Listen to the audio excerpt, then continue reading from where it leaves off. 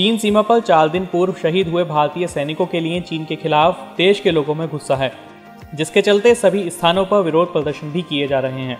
इसी कड़ी में आम आदमी पार्टी के कार्यकर्ताओं ने भी अपना विरोध प्रदर्शन करते हुए चीन के राष्ट्रपति शी जिनपिंग का पुतला भी फूका। देश की सभी राजनीतिक पार्टियाँ आज अपने आपसी विरोध भुलाकर पड़ोसी देश चीन के खिलाफ आ खड़े हुए हैं। आज मुरादाबाद के संभल चौराहे पर आम आदमी पार्टी के कार्यकर्ताओं ने चीन के राष्ट्रपति शी जिनपिंग के खिलाफ जमकर नारेबाजी करते हुए केंद्र की मोदी सरकार से अपील की है कि सेना को स्वतंत्र करते हुए चीन से बदला लेने के लिए कहा जाए। आम आदमी पार्टी के कार्यकर्ताओं ने चीनी सामान का बहिष्कार करने की बात भी ज़ोर शोर से उठाई।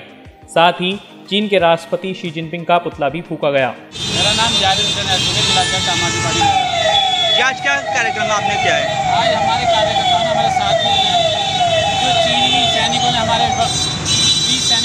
हत्या की है। और उनके उन्होंने इतनी बुरी तरीके से उनकी हत्या की है, रोक रोक रोक के आज हम उनका गुस्सा प्रकट कर रहे हैं हम भारत सरकार से मांग करते हैं एक तो चीनी सेना से जो भी सामान है लेना देन है वार्ता अभी बंद कर दें वार्ता चल रही है।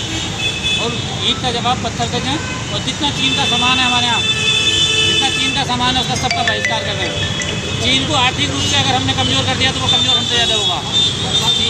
जो चीनी राष्ट्रपति ने लेके कंपनी हमारे यहाँ है कंपनियों का बहिष्कार करना चाहिए। कोई कंपनी को ठेका नहीं मिलना चाहिए इंडिया में।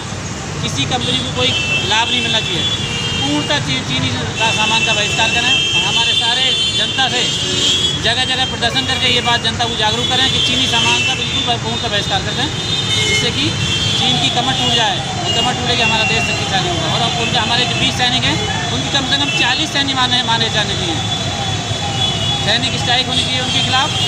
अगर सैनिक स्ट्राइक होगी तभी वो आगो की हिम्मत नहीं करेगा।